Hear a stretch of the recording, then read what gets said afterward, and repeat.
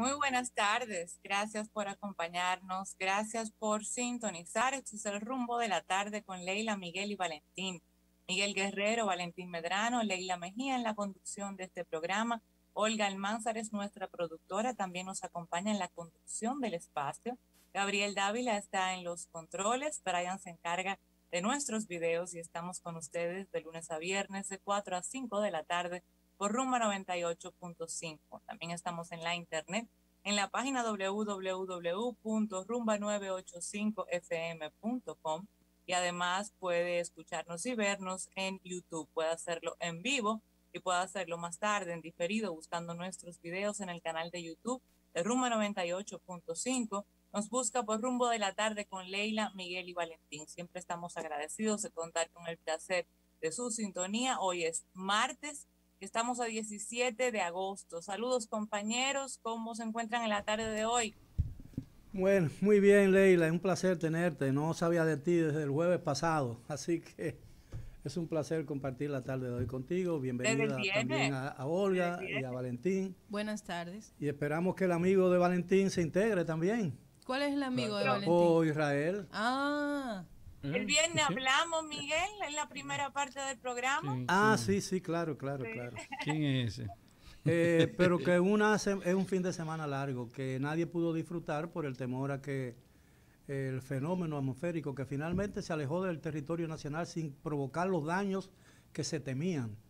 No, no, eh, y por la mortificación y el dolor terrible que ha causado la tragedia en Haití también. Eh, todavía, todavía uno está mortificado por la cantidad de desaparecidos, sobre todo que hay, porque como esto ocurrió el sábado, eh, queda la preocupación de la posibilidad de que hayan víctimas aún vivas bajo los escombros. Es una posibilidad real que los rescatistas entienden eh, incluso probable y, bueno, eso mortifica y a muchos nos quita el sueño.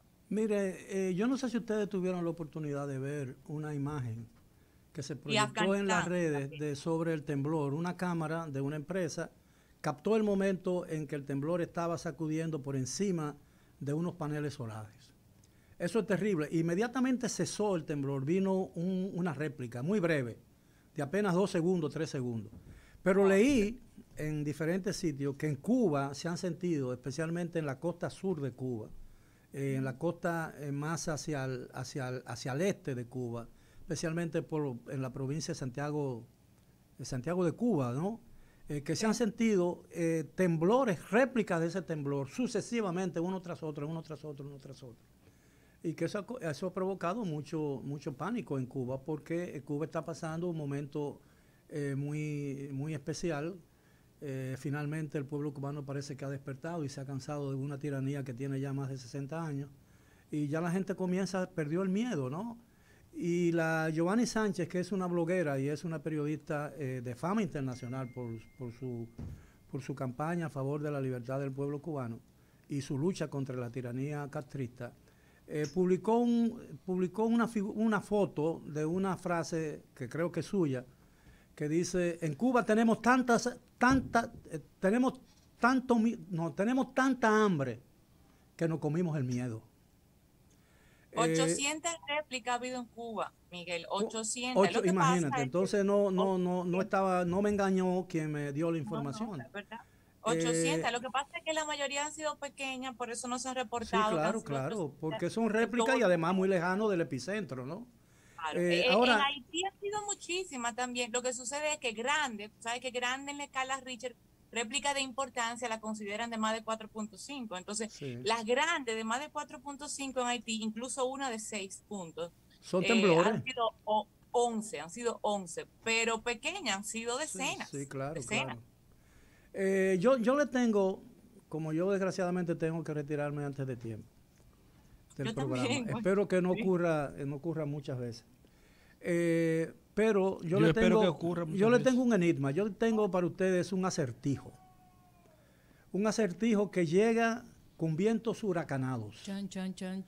Eh, y el acertijo es el siguiente. Eh, a uno se le extravió una página y al otro. ¿Se le extravió una fecha? No. ¿Se le perdió el rumbo? No. ¿Cambió de rumbo? No. ¿El cambio cambio? No. ¿El cambio en reversa? No. ¿Qué cambio? No. Cambio, te cambio eso por la, por la respuesta. cambio un no por un sí. yo lo voy a decir cuando yo me vaya. ah, ah no, ah, no. Ah, pero entonces me puso a mí de relajo. No, no, no, porque ese es el propósito de un acertijo. No, poner a la gente de relajo. yo no creo. Claro, claro. No, yo no creo. Leila está pensando. Sí. Pero no tengo idea, de verdad. Voy a repetirlo. A uno se le extravió una página y al otro. No, yo te, yo te escuché. ¿La dejó en blanco? No. Ah. Concho. Sí, porque se va la guerra. Mm, yo estoy como la figurita de la internet que cuando uno cuando está cargando la página. Así estoy yo también. Eh, eh, lo que estoy, estoy en, en, en, Finder. What? Buscando, estoy oh, buscando. Yeah, baby. Finding, finding, finding la señal, finding la señal. Don Miguel, pero eso no se hace. ¿Qué es lo que usted quiere decir? Bueno, eh, hay muchas informaciones. Así es. Eh, entre ellas... Afganistán también. No, no, eso, eso no aquí, eso no aquí, eso es... Ah, bueno, sí, sí, sí, sí, es importantísimo. ¿qué, ¿Qué, es importante de eso?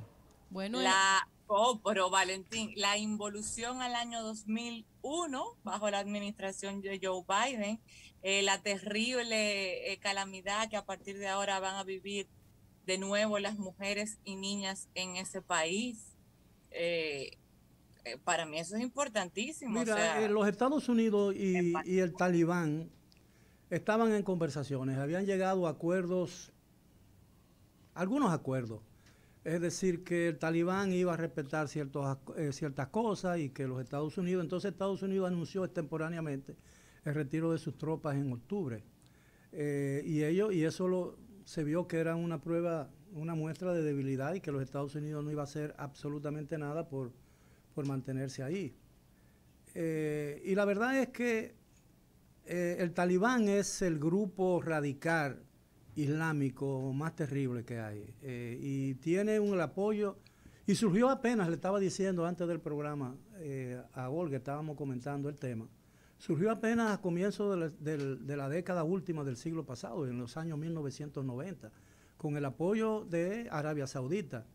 Eh, y el talibán, talibán no es más que en lengua pastún, que es la lengua que, que se habla en el norte de Pakistán y en gran parte de Afganistán, eh, quiere decir estudiantes, porque ese grupo de, radicales extremos eh, fue el producto de, una serie de cursos y de enseñanza religiosa eh, financiada por, Arabia Saudita para crear allí un, foco permanente de inestabilidad política.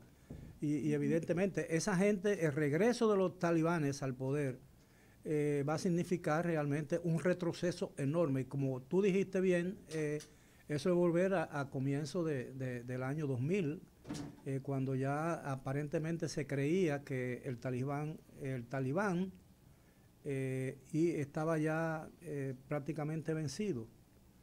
esa gente es muy persistente y son muy peligrosas. Las mujeres que ahora mismo tienen, digamos, 20 años, las que son adolescentes, las que tienen hoy 22, 23, 24 años. O sea, que se criaron bajo una especie de modernidad, entre comillas. O sea, en comparación con lo que había antes del 2001, lo que hubo después es bastante moderno, o sea, en comparación con lo de antes, ¿verdad? Entonces, lo que ellas van a vivir ahora, que no vivieron eso, o sea, esas, mujeres jóvenes, eh, va a ser un cambio, va a ser muy difícil para esas mujeres que no vivieron lo de antes. Este, las adolescentes y veinteañeras que no vivieron lo de antes y, que le van a imponer esto ahora con, con el nuevo régimen talibán. Eso es terrible. Eh, la vuelta al 2001, yo, yo, no me lo quiero imaginar. Eso, es terrible. Eso, eso, es como si aquí eliminaran el teteo. no, Valentín, claro. no, es, completamente diferente. pero, mira, ahí la piden a la mujer. Ahí la piden a la mujer. Oye, eh, la, infidelidad se castiga con la lapidación, con la, muerte. Hágase de cuenta que usted no está oyendo nada, porque no está oyendo nada, pero ahí está Israel.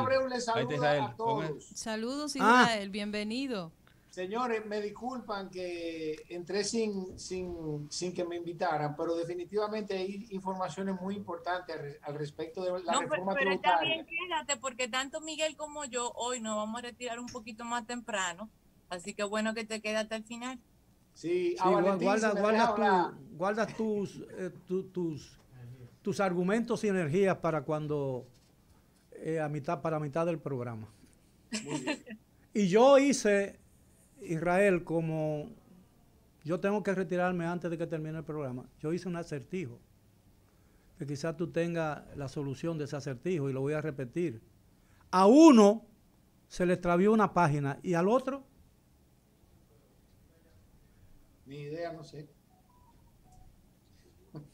El misterio más, grande de este día que nadie ha podido eh, eh, revelar o adivinar. Bueno, pero hablábamos del tema de, Afganistán. Eh, sin duda, uno de los puntos claves dentro de todo este conflicto es el retiro de las tropas por parte de Estados Unidos. creo que la política respecto de temas importantes como la presencia de tropas norteamericanas en ese sitio ha variado bastante creo que tuvo una influencia el retiro de las tropas precisamente en la situación actual. Los Estados Unidos han mantenido el control del aeropuerto de Kabul eh, para tratar de salvar y expatriar o regresar a sus países el mayor número de extranjeros que están, especialmente el cuerpo diplomático. Los españoles han dicho, han pedido a las nuevas autoridades eh, talibanas del talibán que, que respete ese... Y las Naciones Unidas ha hecho un reclamo eh, a la nueva fuerza del talibán para que respete el derecho de los extranjeros de irse. Te han dicho eh, que van a respetarlo, pero los talibanes no son confiables. Ellos no son confiables. Bueno, no, claro, claro, claro. Ellos dijeron que iban a tomarse más tiempo antes de penetrar a Kabul y no respetaron eso. Dijeron que iban a tomarse más tiempo antes de penetrar al palacio y no respetaron eso tampoco. Y los Estados Unidos se tragó esa píldora. Eh, Exactamente. pero ya están imponiendo la Shaira, ¿no? Eh, porque ya han hecho eh, ejecuciones públicas, ahorcamientos públicos en plazas y en calles de Kabul. Eh, y han filmado eso y lo han proyectado en la televisión oficial de, del talibán. es algo realmente inconcebible que en esta época todavía exista esa mentalidad. Pero, pero es que el mundo está viviendo muchos retrocesos. Ahora nosotros tenemos aquí en la República Dominicana persecución política. Bueno, sí, pero... Entonces, entonces eso es un, eh, la, historia es un ir y venir, un vaivén. Y de repente, cosas que uno pensaba que, estaban superadas, por ejemplo, la utilización, en el caso de la República Dominicana, del sistema de justicia para perseguir a contrarios políticos.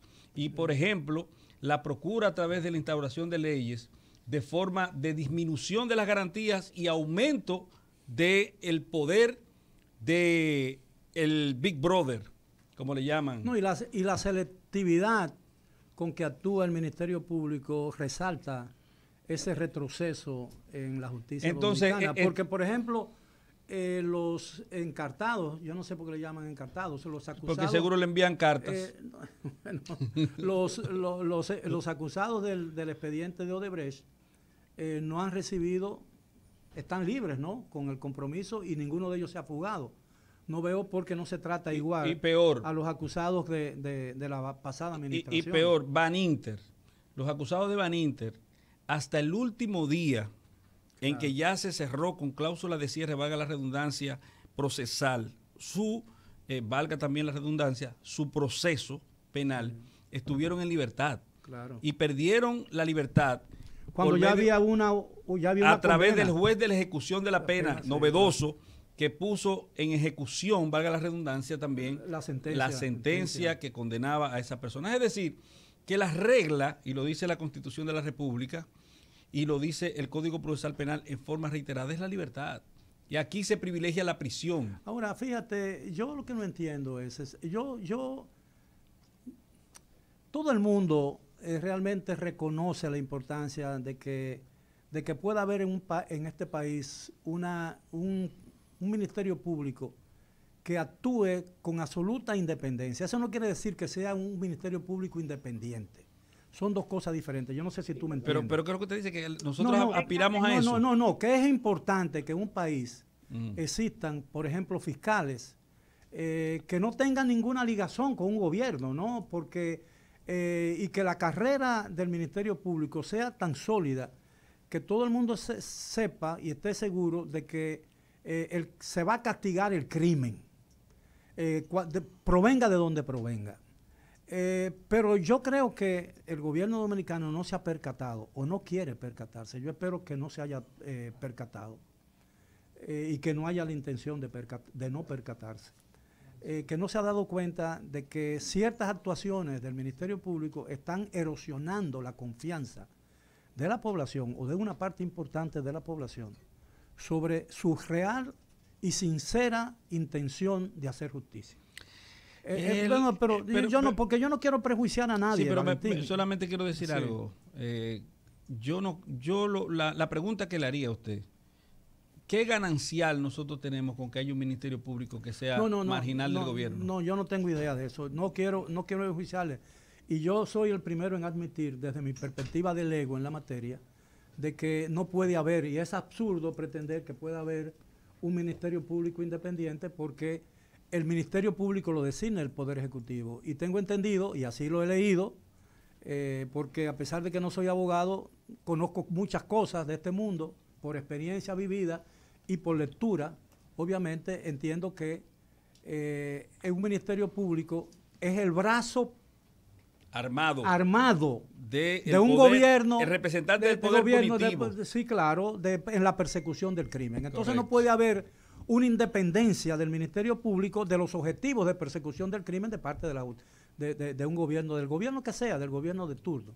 Entonces a mí me parece que eso es lo primero inexplicable. Pero aquí nosotros jugamos con las palabras es decir y aparentemente hay un encanto oculto eh, en el hecho de decir que hay un Ministerio Público Independiente y el presidente en muchísimas oportunidades se, lindo. se, se, ha vanagloriado, incluso el presidente de la República, que él aspira, eh, cuando abandona el poder, dejar eh, una, eh, un ministerio público totalmente independizado de toda influencia política. Cae preso. Bueno, yo no si quiero. Lo, si lo deja independiente. Bueno, pero yo no quiero llegar ahí porque yo no. Bueno, pero yo, yo fui, fui yo, no fui usted, señor. Pero, yo no, pero, pero, quiero. Excúseme. Yo no quiero enjuiciar. ¿Eh? Yo lo que quiero es. ¿Eso por qué, Valentín? ¿Por qué? bueno, si es con la con las reglas de juegos actuales por ejemplo, bastaría con los 100 millones de pesos que se les regalaron a los artistas para que se, haya, se, abra un proceso.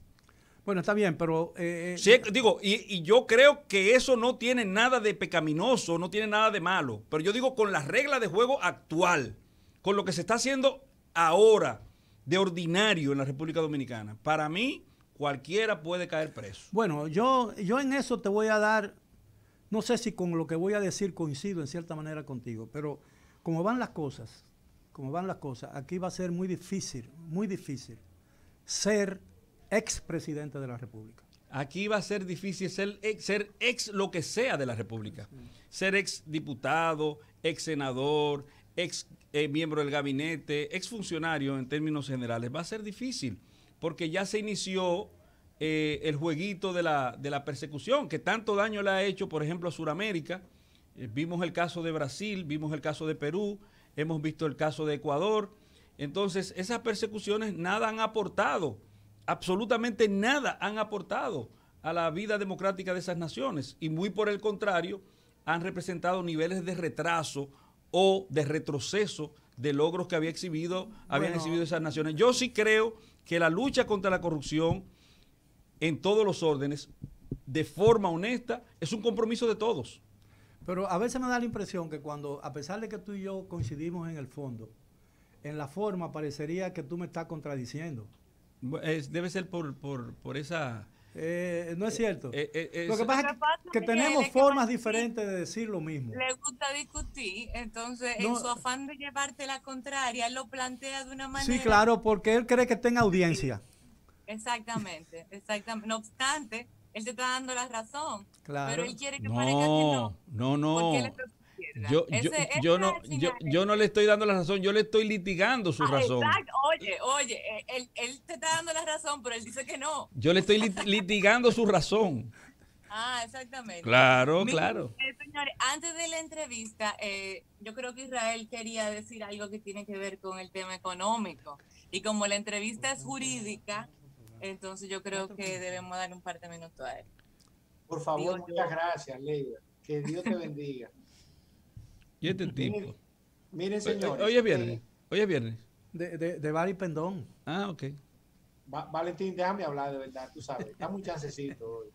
Miren, señores, definitivamente mi intervención en el día de hoy es para referirme primero a lo que el presidente dijo en el grupo de medios de, de Corripio al respecto de que vamos a tener una reforma tributaria, comentario que ya había hecho el viernes pasado, y que en el día de hoy Miguel Seara Jato se refirió de manera específica, estableciendo que va, se va a reducir el porcentaje del ITEVIS en algunos rubros y que se va a ampliar la base del ITEVIS.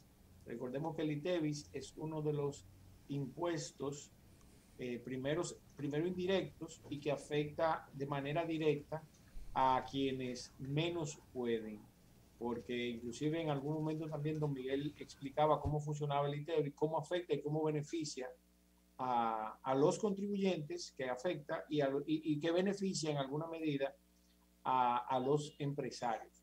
Por otro lado, también Miguel Seara se refirió al respecto de que va a agravar el patrimonio de quienes más pueden y que existe una alta posibilidad de que el impuesto sobre la renta también sea aumentado.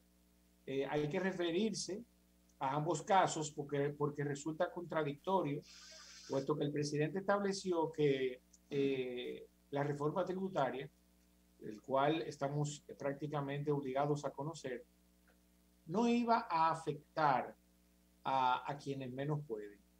Ahora bien, estableciendo, tal y como eh, comunica Miguel Seara Jaco, que el ITEVIS se va a ver afectado, ¿verdad? Esto va a afectar de manera directa a la clase baja, a la clase media baja y a la clase media de manera directa. No obstante, el mismo estableció, que eso esperamos que sea publicado en los próximos días, que se va a buscar algún mecanismo de compensación para eh, esos ciudadanos que van, que van a ver afectado su canasta básica familiar. Entonces, en ese sentido, es el aporte que quería hacer porque, vuelvo y le repito, eh, es sumamente importante que no, que, que la gente se entere de lo que está pasando.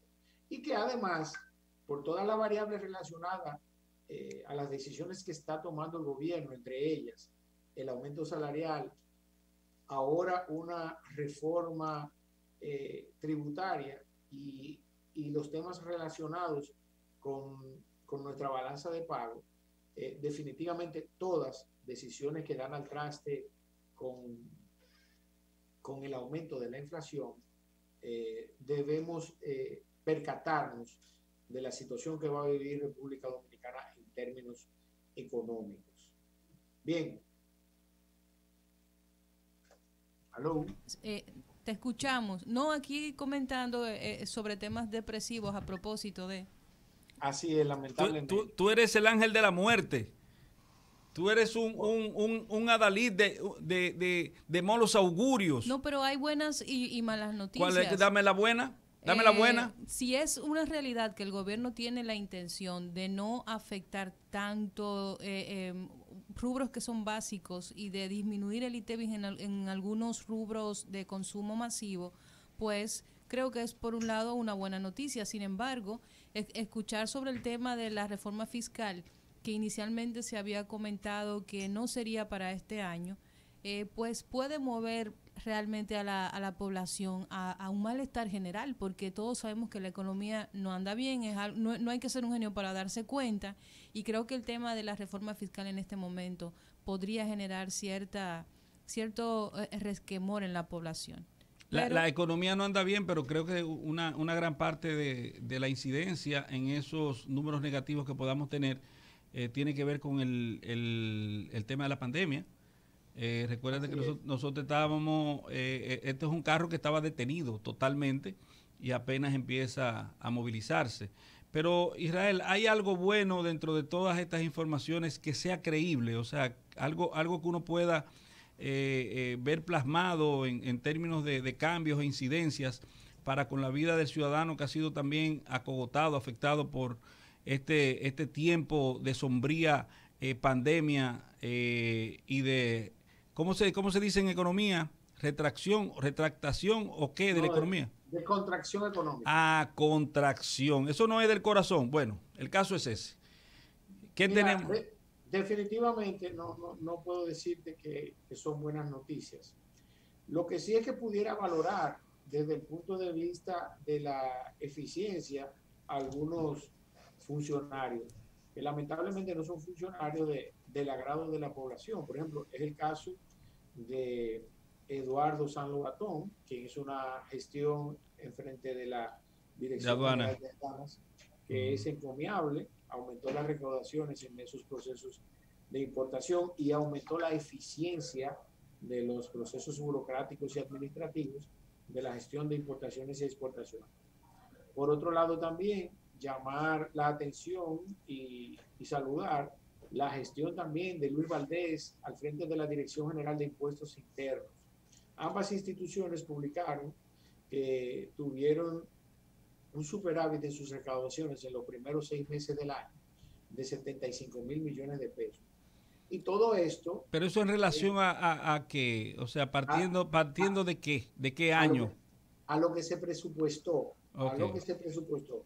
Superávit respecto a lo que su presupuesto, que fue una referencia del año 2020, que recién concluyó y, y se tomó como partida para el presupuesto del 2021. O sea que tiene sentido lo que tú preguntas, porque en relación al 2019, tal vez ese aumento en la recaudación resultaría normal. Así que es válida tu, tu, acotación. No obstante eso, entonces, en el caso de la Dirección General de Impuestos Internos eh, y la Dirección General de Aduanas, ambas publicaron que tuvieron un superávit por 75 mil millones de pesos. Eso es un número importante, alrededor de 1.5-2% del PIB. Y, y, eso le agrega mucho valor a la gestión del gobierno de Luis Abinader desde el punto de vista de las facilidades para la eh, ejecución del presupuesto de gasto y también en alguna medida reducir el déficit para, para este año. Por otro lado, yo creo que sería importante resaltar la gestión de Jean Luis Rodríguez frente a Aeroportuaria y finalmente, que no es algo que tiene mucho desde el punto de vista profesional, en el caso mío, es el, tema de la, de la gestión medioambiental al frente de, de Orlando Jorge Mera. No obstante, definitivamente eh, yo soy de opinión ¿Y compras y, contrataciones? ¿Qué te parece? Mira, compras y contrataciones, yo entiendo, en manos de, su director, Carlos, eh, que él debió haber llegado a esa posición porque tenía mucha experiencia y es un, analista de la ley de compras. Él debió llegar con una modificación a la ley 340-06 debajo del brazo. Porque al margen de que yo soy un opositor al gobierno, aunque soy un opositor constructivo, o sea que, me gusta agregar valor. Eh, esa ley es inaplicable. Al margen de las deficiencias que puedan tener los actuales funcionarios, esa ley que lo que hace es que crea trabas y convierte en un elefante blanco a un elefante blanco ya de por sí. Pero eso era lo que se quería, eso era lo que se procuraba. Pero entonces, en función de eso, tenemos a funcionarios que no tienen la pericia suficiente para el manejo de la ley, esa es una, y entonces tenemos a la Dirección General de Compras y Contrataciones que no somete de manera definitiva o, o de manera transitoria un proyecto o anteproyecto que dé al traste con la eficiencia de la gestión administrativa. Entonces son dos problemas. Yo me sumo a las felicitaciones que tú diste a, a esos funcionarios, que me parece muy atinada, muy correcta, muy acorde con la realidad que hemos vivido. Eh, Yayo San Lobatón, extraordinario, magnífico, Luis Valdés, eh, una gran gestión. Yo hace mucho tiempo te decía que en el caso de Luis Valdés eh, ha, hecho una gestión más accesible, más abierta, eh, más proclive a darle facilidades a, a la persona, al, al, contribuyente, exactamente, a la materia prima que es el contribuyente. Gracias, Israel. Tú eres un maestro de la economía, la pone fácil, es como recta por el centro para que todo el mundo la bate y la comprenda. La economía tan difícil se hace fácil en voz de Israel Abreu. Pero Israel, lamentablemente, tenemos que hacer un pequeñísimo corte porque. ¿Está ley ley? No, no, Leila no está ahí, pero... Mal por ella. Pero yo, la, yo la represento dignamente. Ah, pues entonces, vámonos con Olga. Vamos a hacer la pausa para luego tener nuestra entrevista del día de hoy.